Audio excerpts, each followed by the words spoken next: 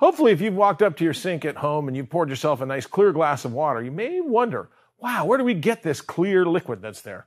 I mean, if you look at your local pond and it's kind of dirty, or if it's a stream that's behind your house, it never looks quite that good. Well, maybe you thought this, the pipe goes way out and you find some clean source. But really, in reality, is your city is doing some work on treating it. That's what you're going to explore today then when you get into the lab for um, this agricultural starter lab station. Water treatment. Your city takes quite some time to make sure that the water that shows up at your house is clear of particles and can um, have been cleared of any kinds of disease. And so they're going to do several steps along the way.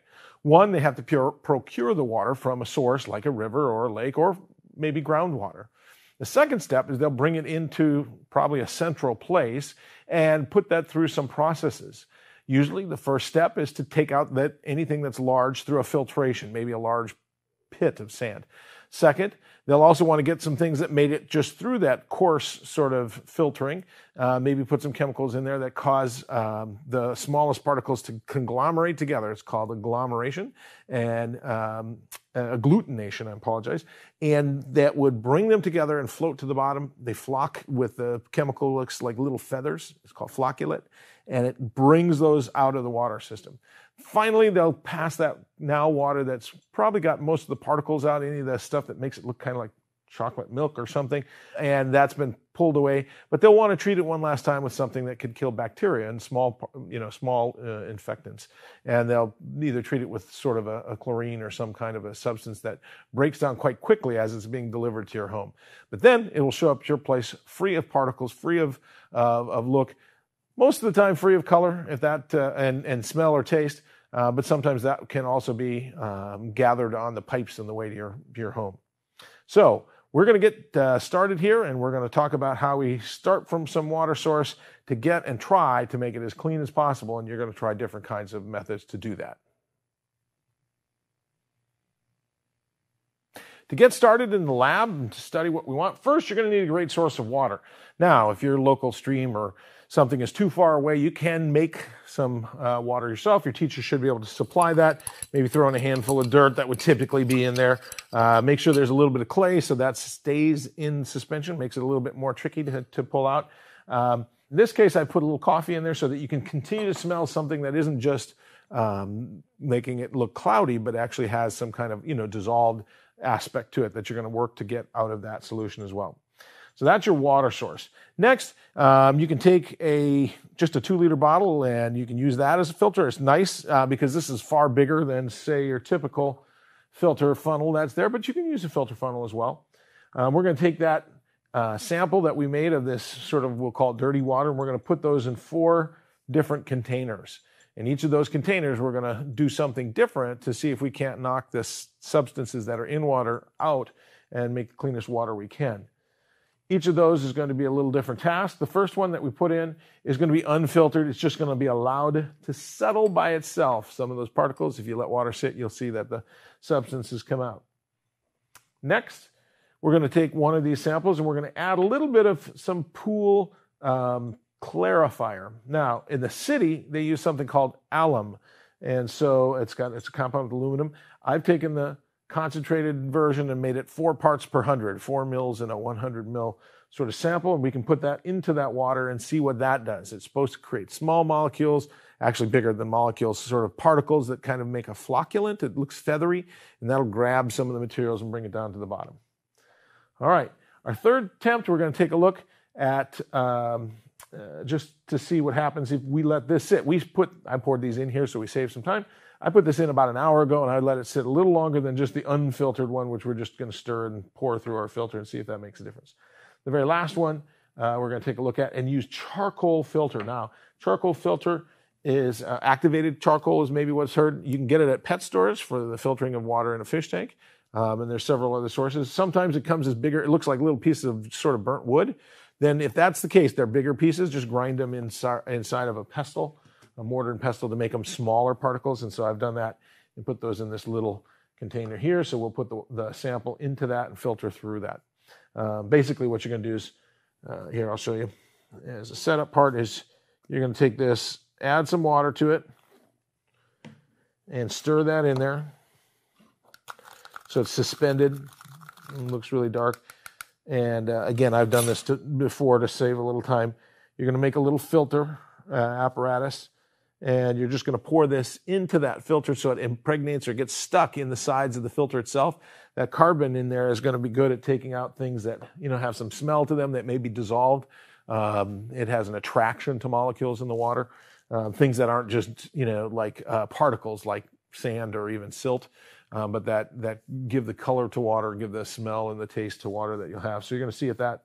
Um, this is going to then be one of the methods is to pour through this particular filter, and I'll show you that process um, when we start gathering data. Now, each of these is is like I said. Here's our unfiltered, untreated. We're just going to stir that back up. We're going to pour that into the filter itself and allow it to drip through to the bottom into our four beakers that are here on each of these methods. And you're going to see which one seems to work the best for different kinds of reasons. We'll test those shortly. Uh, finally, what you're going to do is going to have the chance to make your own filter. Um, well, in each of these you're going to make as well. And these are really simple to make. You just take a piece of, of uh, paper toweling. You can fold it in half once. Notice this is just the size, and you know, get a nice square. Cut it with a scissors or something fold it in half once, fold it in half a second time, and then pull one of these flaps out so that it makes sort of a funnel. Okay. And inside of that funnel, you're going to take normal paper napkins, which usually fall apart. These are better with water, they don't fall apart. But these are a little bit more, um, the napkins that I'm suggesting to put inside of these paper towels are a little thicker and they do a little better job. So we're going to use those two sets of filters as the standard. Okay. And that's going to go inside of your other half of your cut um, two liter bottle. Now, you can, like I said, if you didn't make these, you may be given uh, just a standard filter uh, from your teacher, and you can put those inside as well. They will fit. They'll be a little bigger than that, so you got to make sure you kind of push them down in there to dump your water in. So either one will be great. This is the one I'm going to use because then that way you can go through more water if you need to. All right. Not that I'm gathering data, but I'm going to show you the process Here's our um, just untreated and stirred, so there wasn't any time to allow the sediment to silt, sink down. You're just going to pour that into your filter like this, and you're going to allow that to come through and drain into the bottom cup. Okay, now that may take a little bit of time because first it has to get wet, then it'll wet the sides, and then it'll work its way down to the bottom. I know that's going to take some time, so what we'll do is when I come back and we're going to go through the uh, data gathering and analysis, I will have done that and I'll take our little samples here that have already filtered through that process. What I will mention in this stage though is for one of your uh, one of your filtering, here's what it looked like when I poured that activated charcoal in first, and then I rinsed it two or three times to get anything that's loose to filter through and be out of the way. Then what's left impregnated on the sides is that activated charcoal. So one of the tests you're going to put this is done after this has come through, and you can see it's it's taking its time. I'll put some more in there so that we get more liquid out. Um, but one of those tests, you're going to use this filter that has the activated charcoal in it, okay? So when we come back, I'll have those ready for us, and then we'll start our analysis. So we've given the water that we've just filtered some time to make it all the way through. Um, some of them asked, for instance, this is just the water as it was. You can look inside, and it, again, it looks sort of like chocolate milk.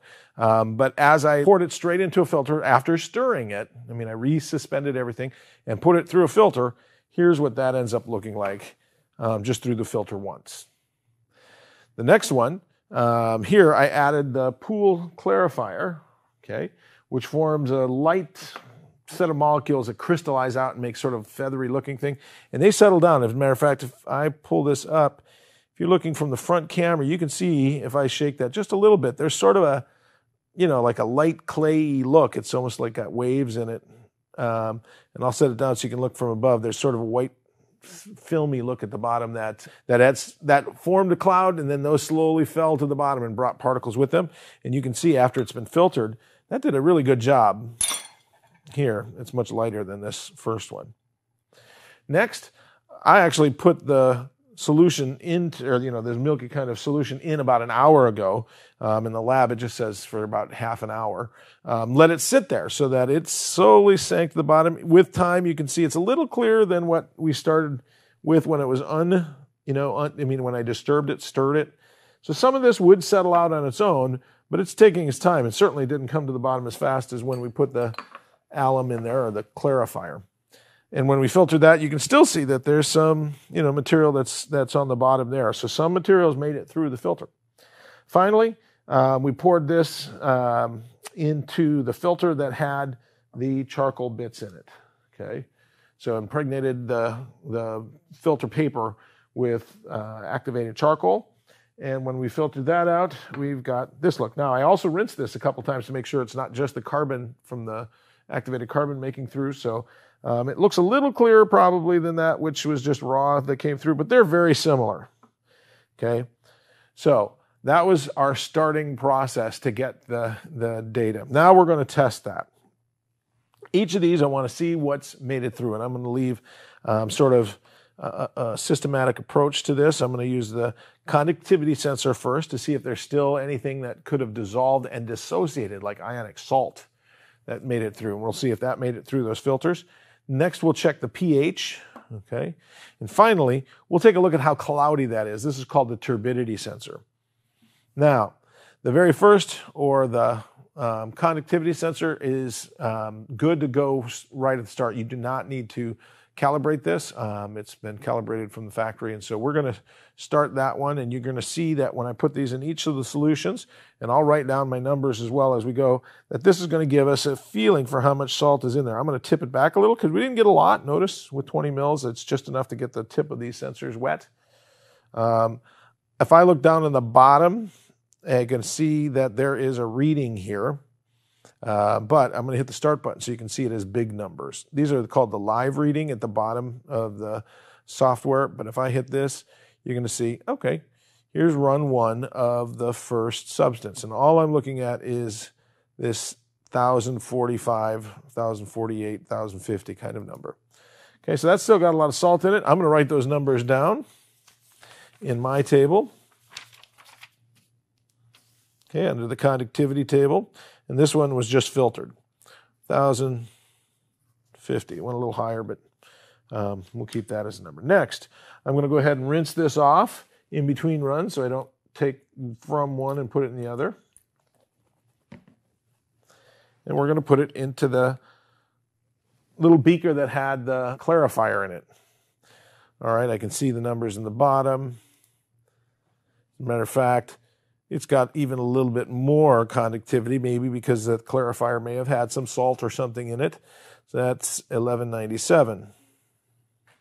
And that's agglutination, 1197. Awesome. Again, I'm going to rinse it off.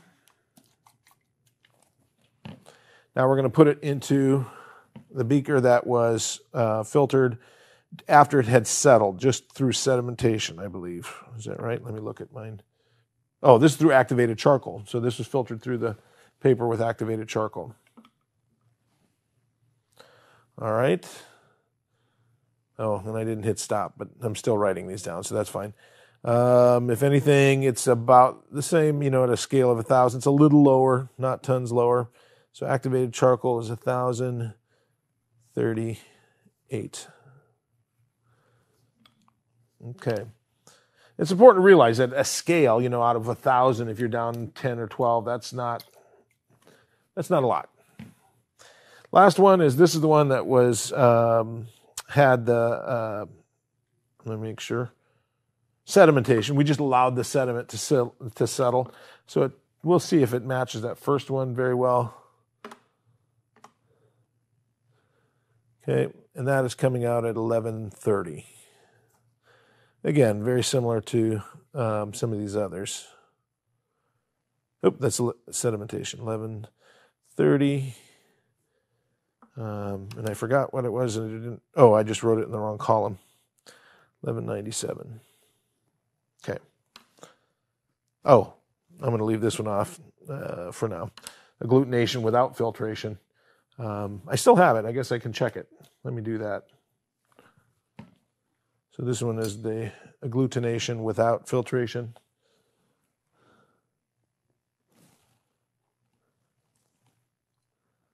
Eleven oh nine. Okay, I'll clean this up before we finish. But that is the conductivity sensor. That is measuring how much saltiness there is in that solution, ionic substances that have dissolved and have dissociated. Okay, there's natural salts that are in soil um, that may continue, like limestone, um, calcium carbonate, even sodium chloride, sodium sulfates, all can be in um, water that's local. So, excellent. Um, let me clean this up real quick, and we will go on to then the next test, 1109. Okay, now we're going to use the pH sensor. pH sensor, if there is something dissolved, okay, if it's ionic, for instance, it breaks into two ions, pluses and minuses, and that'll be detected by the conductivity sensor. Now, this is, is going to look at each of those ions, and if one of those ions is an acid, an H, or if it's missing and it's got hydroxide in OH, then we're going to be able to sense it with the pH sensor. If they are not acid nor are they base, they'll have a pH of around 7. If it's more acidic, it's going to have higher numbers of pH. I'm going to rinse this off real quick to make sure we get a good start without adding more to our substances. Okay, I'll go ahead and stop just as a marker to remember. And the next one we're going to look at is this big number on the right. Here's the unfiltered, uh, untreated, and just pour it into the filter um, sensor. I'm going to lean it forward to get it as wet as possible. If you have more liquid than this that comes through, that's great. But this looks fairly much like normal water. It's 6.9. It's a little bit acidic, but not much. So if it's just allowed to settle through sedimentation, um, Oh, we just ran it through the filter. That's this first one, 6.72. Okay, it's changing a little bit, but that's okay. I'll rinse that off.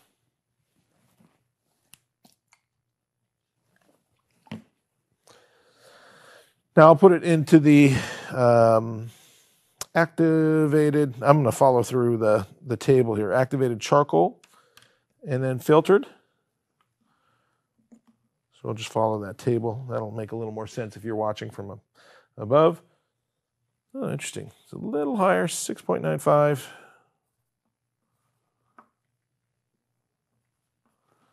That was filtered through activated charcoal.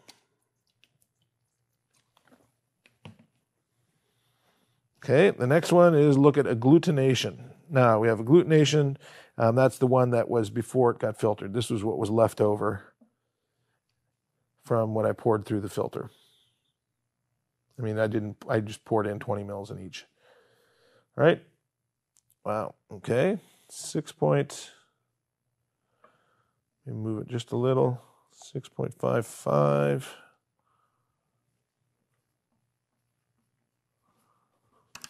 Excellent. And then let's see if the filter after that material dropped to the bottom. And I didn't stir it either. I let it settle you know, and then I poured just the top of the liquid off, and that's what came through here. 6.32. Oh, it's going up a little, 6.40. I'll stir that just a touch. 6.5044. Okay, 6.44 yes, these move around a little bit, but this gives you a good idea of what is it that's being filtered out. Um, in this case, we're looking for the hydrogen, the acid part, or the base part. Sedimentation, which was this last one, and all we did is let that sit for longer. Um, we stirred it up before we filtered it before. We just let this sit so that the particles could settle down. And I let it sit about an hour just to see if it gave more of an influence than what the lab says, which is about a half an hour. Okay, 6.6. All right. Excellent. That's the pH sensor. Now, oh, and I've got the I've got the um, calibration that's right here. I did calibrate it right before we took the the film. So let me show you that calibration process just so that you can see it. Um, and it didn't goof up my results, but I I had performed it right before filming. Um, let's put these into the two calibration solutions. Um, the way that you can do this, go ahead and stop is if you have your SPARKvue running, I usually just go to this little data bar that's the live data bar, and I'll calibrate the measurement. Just so you can see this process because it is important, especially if you haven't used these for a while. It's important to sort of set the pH so it knows how to read what's expected.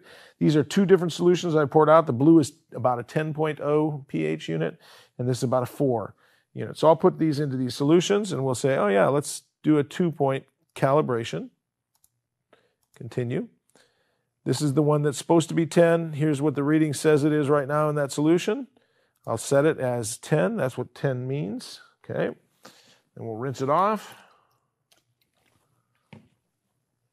And we're going to put it into this red solution, which should be around the 4.0. We'll let the values come together to a stable amount. Tip it a little bit so that it's a little deeper in the solution. Okay, and I'm going to set that. So that's calibrating the pH sensor and measuring. Um, obviously, you want to do that before you measure, uh, especially if it's your, if you're the first class or something, so that you get this to be measuring what's supposed to be coming out. Again, I had just performed this calibration right before filming this, so even though I did it second, my values are still I would trust in. Okay.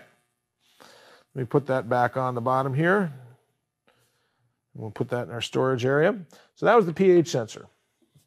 Now we've finished looking at the pH of the solution, how much H plus or acid is in there, or how much hydroxide OH minus is in those solutions, and seeing if this filtering process can take any of those out.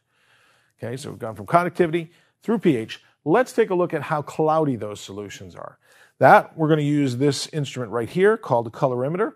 Uh, colorimeter shines white light through it, or normal colored, uh, all colors of light. And then if the substance absorbs some of them out, it looks the color that makes it through. If some solution is red, the red light is making it through. We're looking instead is if it's cloudy. In other words, if the light itself, not caring if it's red or yellow or green, if the light of all of those come through gets somehow blocked out. So what they're going to use is a sort of standard solution. We're going to tell it this is a known amount of cloudiness. This is sort of a white, uh, milky substance. I'm going to pull this and put this right here. Um, actually, it's better to probably put it right here. You can see that there's a little bit of cloudiness to it. We know what that cloudiness is. It's called 100 units. And uh, I'm going to calibrate this instrument. Notice on the last one when you did pH, I calibrated after, even though I had taken care of that. Let's take a look at our turbidity by clicking here. I can calibrate this measurement. And you notice first, we're using the turbidity sensor. Second, the measurement we're going to be looking for is called the turbidity, and it's given in NTUs. All right. Um, there, we're going to put a blank in.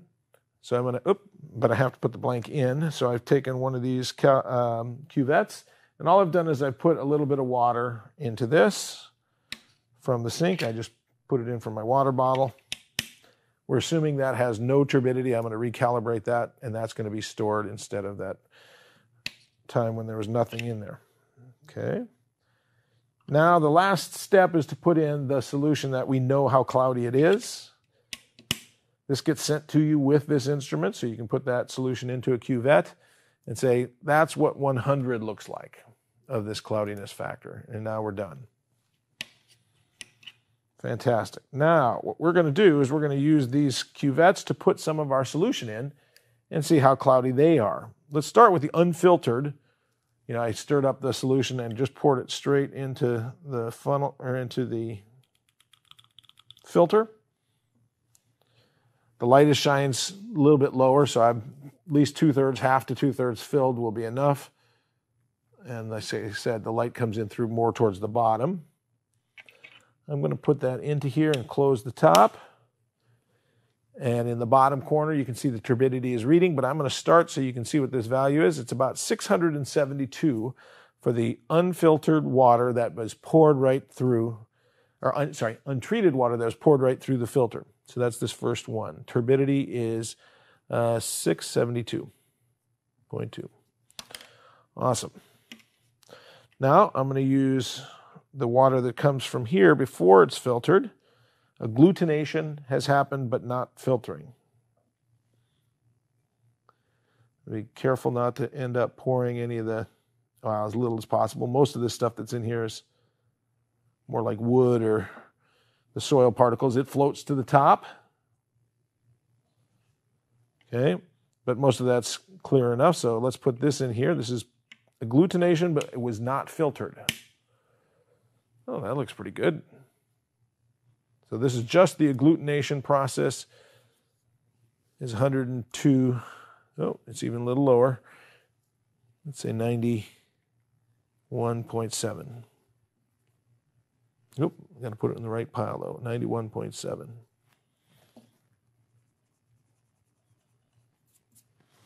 Okay.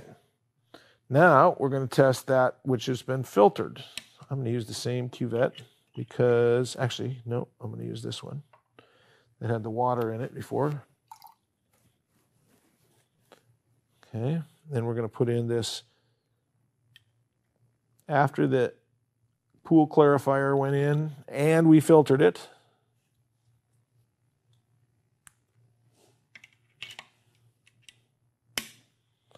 Okay, it's still measuring. And that's a little lower than just 60.8, a little lower than the unfiltered but added clarifier to it. Now we're going to go to the activated charcoal. I'm going to put this into our cuvette. So it poured through the filter that had the activated charcoal impregnated into the side.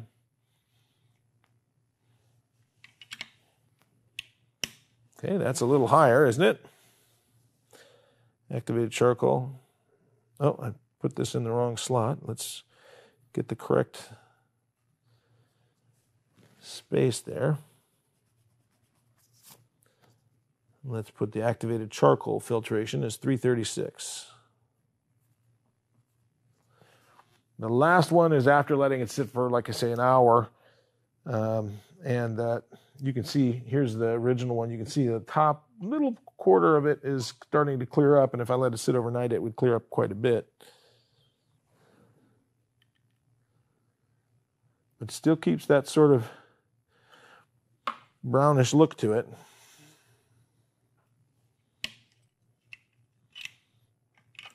So this was allowing sediment to fall down, and then we filtered just what was on the top. And the cloudiness for this is 223. Okay.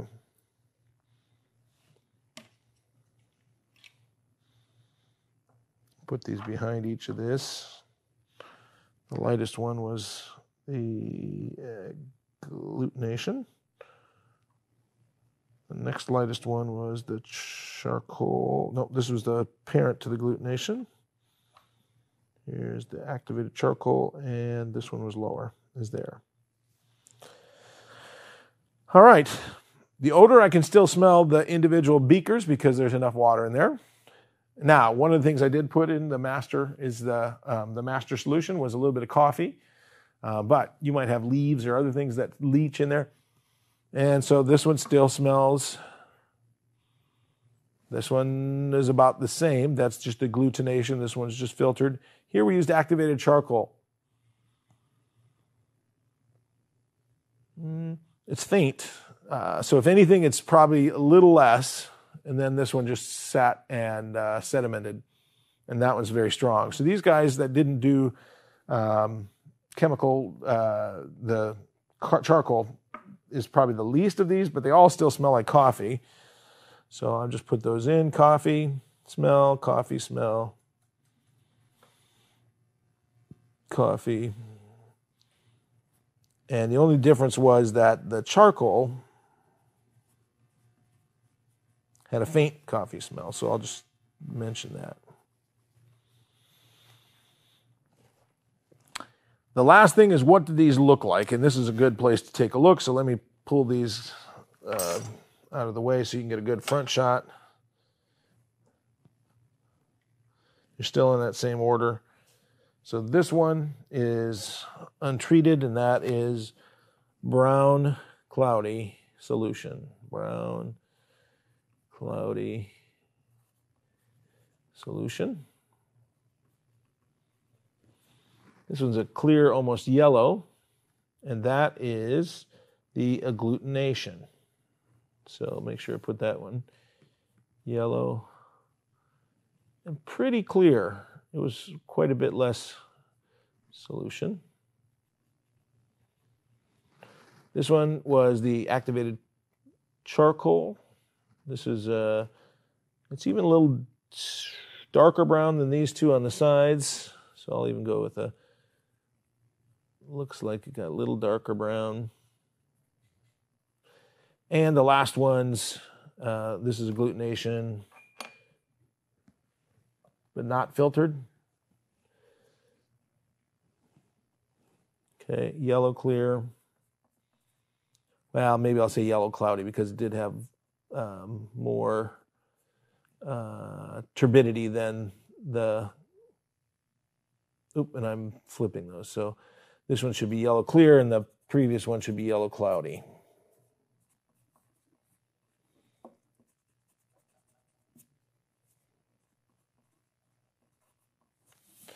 Finally, sedimentation is just the brown cloudy. Looks much like that very first one. All right, so now we've taken all the data. You should be able to go in there and think about what that means in terms of interpretation. We'll come back and talk about the challenge and um, uh, what we should do to interpret these uh, results and the analysis in just a second. Great work on following through to see what has changed when you use each of these types of filtration methods. And each of those is used in uh, processing of water, whether it's filtering it, letting things settle, adding something that can pull the other things out of it, agglutination. Um, and others might be to pour through something like activated charcoal or filters that are particular for smell uh, particles that have an odor, for instance. Let's take a look at what we've just done. If you, in the sheet that we'll post um, up right now, look at those, I went back to the original material and the original pH, for instance, was 6.14 a little lower than what I would consider normal pH of 7. All the materials we looked at had been filtered, had a little higher values of pH. What can that mean? Well, a lot of paper is made from a process that adds a little bit of materials to it. So it may change the pH, or in this case, what was left in the bottle is a little lower than all the rest, so that has a little more acid to it that could have come from even the last little bit of stirring that I had done when we kept using this. Because at one point I stirred those two solutions that we checked the um, calibration for the pH sensor. So if 6.14 is truly the reading of the water and the others are 6.5, 6.9, which are normal, I have a tendency to think maybe I put something in that water, and you'll have to check your samples um, when you do the lab to see if that's the case. Next, let's go to conductivity. Conductivity in this untreated, unfiltered water was about 1100. Okay. If you look in the examples that we took, almost all of them had a little higher values of that. So they may have picked up a little of something in those papers, maybe something that's dissolved in the paper itself. Like I said, some papers are usually treated with uh, light acids when they're being processed from, from pulp uh, into this, and so they may retain a touch of their properties. We saw that wasn't the case in the pH, but there may be something that was a little salty, some kind of a, a treatment that is in there. It picked up a little saltiness, or that's just the variation that's in the, the sensor. It's only within 25 to 35 uh, values of each other. But we didn't see much change. Why? because these particles are dissolved. They're dissolved and they're not just suspended. So dissolved things make it through filters. Now, the turbidity is getting out larger particles. Molecules that, dissol- uh, that go into solution are surrounded by water are molecule by molecule. The bigger parts that make turbidity are actual large particles that have maybe tens of thousands of atoms or molecules large. And here we see is what takes out these the best. The value of the turbidity in um, the sensor was well over 600. And we saw that in almost all the filtrations except for the very first one where we poured that same solution through just the paper towel, that that paper towel didn't get tons of that material out. As a matter of fact, it was very similar in value to what the untreated would have been. Now, when I hold these next to each other, I would say these did get some of the particles out because it looks like it's filtered some, but there's still quite a bit of milkiness to that solution. Again, if we move to the next column, you'll see that the odor in there is always of coffee. And the only one that didn't, it still had some smell of coffee. Um, again, we put that in to make it more smellable, but you would know if your, your water had some smell to it. Uh, that may have come out as the one that had a little lighter smell, and that was the activated charcoal. Charcoal has a chemical attraction, so it may be able to take some of that smell out. Maybe not all, but some. And that's why it's used in a lot of filters, uh, like for fish tanks. So it's the only one that had the faintest smell. It still smelled of coffee. It didn't get it all. Maybe a slower process of exposing the two together would help, or a larger column of charcoal, for instance, might do the job. And finally, which one was able to take most of, of at least the visible particles out? And in this case, it looks like, if we're looking at this, the one that was agglutinated. It made a fine structure when we poured that pool chemical in there. That fine structure slowly settled down in about a half an hour. Um, and with it, um, that because it was part of a settling, but it helped to force the settling. It looks like it cleared the water up the most. Now, your job after taking a look through your analysis is say, how could you maybe put two or three of these together or try something that hasn't been tried? Maybe you want to use sand. Maybe you want to put in some other kind of fiber, leaf pack or something like that. You'll always see that there's some trade off between putting more layers in and how clean it gets to how much time it takes to go through there. But make those observations and run those same tests on a filter of your own design and see if you can't get these to even beat our best example, which was the agglutination or the pool clarifier. With that, um, we wish you the best of luck with your labs and turning these in, and uh, we're excited for you to, to come up with your own filtering process. Appreciate your city because they do a great job of getting your water clean, and uh, you can test that out with your own filtration system on your own.